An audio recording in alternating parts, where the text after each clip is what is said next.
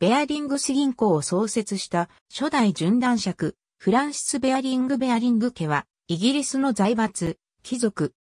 1762年創業のベアリングス銀行を1995年の経営破綻まで同族経営した財閥として著名である。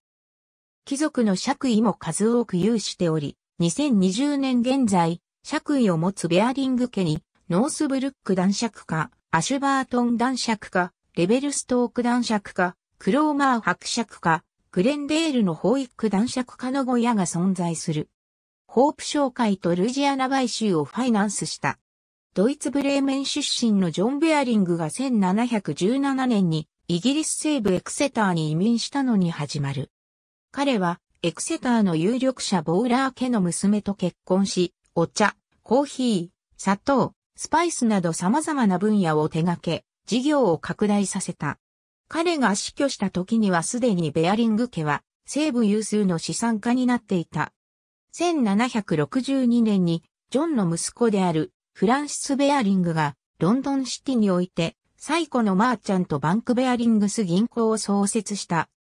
ベアリングス銀行は大英帝国拡張の時流に乗って貿易商人たちの手形の引き受けで業績を伸ばしていき、1793年までにはロンドン最有力の引き受け業者に成長した。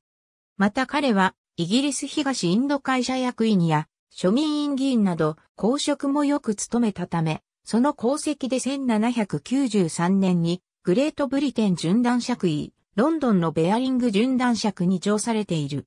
アメリカ進出を推し進めた初代アシュバートン男爵、アレクサンダー・ベアリング・ベアリングス銀行は、早い段階でアメリカの将来性に目をつけて、アメリカ進出を行った。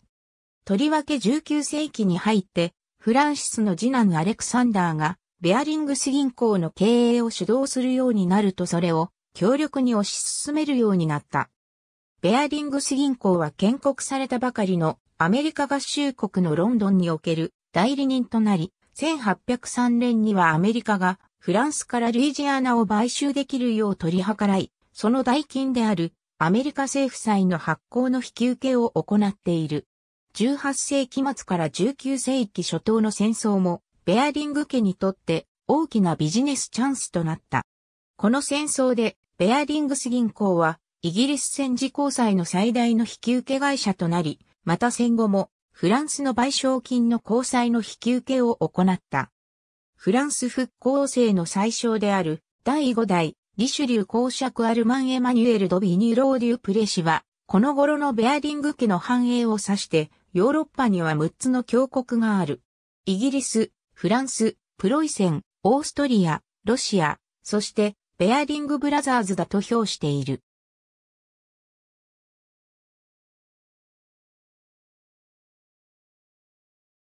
アレクサンダーは通商長官を務めるなど政界でも活躍し、1835年には連合王国貴族爵位、カウンティオブデボンにおけるアシュバートンのアシュバートン男爵に除せられた。これがベアリング家に与えられた最初の貴族爵位であった。初代アッシュバートン教の引退後、その甥のトマス・ベアリングがベアリングス銀行の経営を主導するようになった。貿易で利益を上げ続け、ボストンで関東の茶を手に入れるにはマセソンかベアリングの信用が必要不可欠と言われた。19世紀中期には自社のために投資するほど資産が豊かとなり、イギリス、ロシア、オーストリアの株式やパナマ運河の再建、アメリカ鉄道株への投資も始めた。1860年から1890年までにアメリカ・カナダに行った融資額は5億ドルに達した。19世紀中ベアリング家は英国マーチャントバンク界において、ロスチャイルド家と双璧する存在となり、世紀の終わりには英国王室御用達の銀行にもなっている。トマスの兄である第三代準男爵サー・フランシス・ベアリングは財務大臣を務めるなど政界で活躍し、1866年に連合王国貴族カウンティ・オブ・サウザンプトンにおけるストラットンのノースブルック男爵に叙されている。また彼の長男である第2代ノースブルック男爵トマス・ベアリングも政治家として活躍し、インド総督を務めた功績で1876年に連合王国貴族カウンティオブサウザンプトンにおけるノースブルック伯爵に除されている。しかし初代ノースブルック伯の家系は2代で絶えたため、同伯爵位は現存しておらず、ノースブルック男爵位のみが、初代ノースブルック伯の弟の家系によって継承されて現存している。1873年のトマスの死後、ベアリングス銀行の経営は、いとこのエドワードが主導した。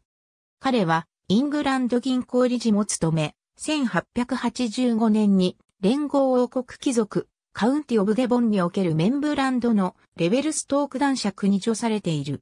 彼は、ベアリングス銀行の南米進出を推し進めたが、1890年にアルゼンチンで革命とリバライ不能があり、それによって大打撃を受けた。イングランド銀行やライバル銀行から救済を受けて経営破綻を免れたが、この際にイングランド銀行理事の勧告を受け入れる形で、ベアリングス銀行は株式会社に転換されている。株はベアリング一族で持ち合った。エジプトを統治した初代クローマー伯爵、イブリン・ベアリング。初代レベルストーク教の弟イブリンは1883年から1907年にかけてイギリスの繁殖民地エジプトにおいて、エジプト総領事を務め、エジプトを実質的に統治した。その功績で1901年に連合王国貴族、カウンティオブノーフォークにおけるクローマー伯爵に除されている。これは現存するベアリング家の爵位の中で最も高位のものである。初代クローマー伯の三男イブリンも植民地行政官として活躍し、南ローデシア総督やケニア総督等を務め、1960年に連合王国貴族、カウンティオブノーサンバーランドにおける法育のグレンデールの法育男爵に除されている。一方、ベアリングス銀行はアルゼンチン進出で打撃を受けたものの、19世紀末から20世紀初頭にかけては業績を回復させ、特にアメリカビジネスで大きな成功を収めた。またロシア、カナダ、ベルギー、トルコ、日本、清などと関係を深めた。日本との関係では1902年の鉄道建設費の調達や1905年の日露戦争の戦費調達にベアリングス銀行が大きく貢献している。しかし二度の世界大戦によってイギリスの国際的地位は大幅に低下し、ポンドは下落、ロンドンでの外債発行も激減した。これによってベアリング家のみならず、イギリスのマーチャントバンク業界そのものが衰退を余儀なくされた。ベアリングス銀行は1970年代以降、投資顧問、被災管理、企業の合併や買収などに活路を見出さんとするようになり、特に1980年代の金融ビッグバン以降にはトレーディングに特化した投資銀行化していく。日本株の高騰で大きな利益を上げたが、日本のバブル崩壊で大打撃をかぶった。さらに1995年には、シンガポール支店のニック・リーソンによる架空取引の損失、阪神淡路大震災に伴う日本株大幅下落、その穴を埋めるべく、リーソンがさらに行った取引において、取り返しのつかない致命的打撃をかぶり、1995年2月、ベアリングス銀行は破産した。こうして、ベアリングス銀行は233年の歴史に幕を閉じたが、ベアリング家が貴族であることは変わらず、2020年、現在も5家のベアリング家が連綿として爵位を継承し続けている。この5家という数は、イギリス貴族の家系の中でも最多の部類に属する。ありがとうございます。